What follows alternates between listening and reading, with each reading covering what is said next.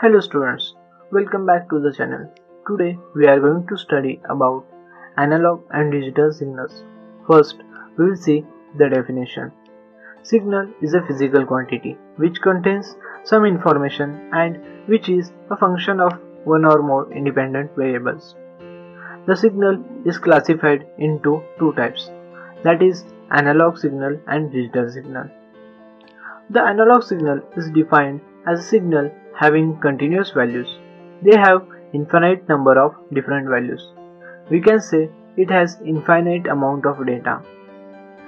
Digital signal is defined as a signal which has only a finite number of distinct values. These signals are not continuous signals.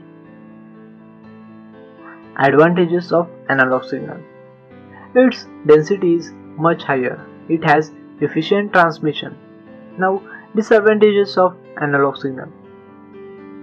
It records unwanted noise and it is difficult to process. Now we will see the example of analog signal.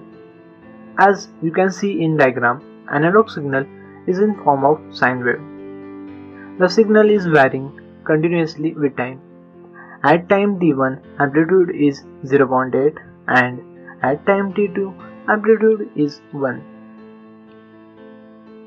Advantages of digital signal It has high immunity to noise and easy to process. Disadvantages of digital signal There is a data processing delay. It needs lots of bits and circuits. As you can see in diagram, digital signal is in form of square wave. For a small interval of time, the signal is finite or constant. At time t1 and t2, the amplitude is 1 means in digital signal, the amplitude is constant at some interval of time. We can compare analog signal and digital signal in the following way. In analog signal, it is continuous signal which represents physical measurements, while digital signals are discrete time signals generated by digital modulation. Analog signals are denoted by sine wave, while digital signals are denoted by square wave.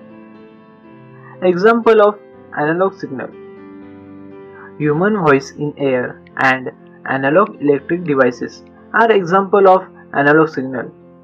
In these devices, analog signals are used. Example of digital signal Computer, CD, DVDs. In such digital electronic devices, digital signal is used. Or you can say uh, these devices works on digital signal. Hope you enjoyed the learning. For more updates, subscribe to the channel, like and share the video and don't forget to hit the bell icon.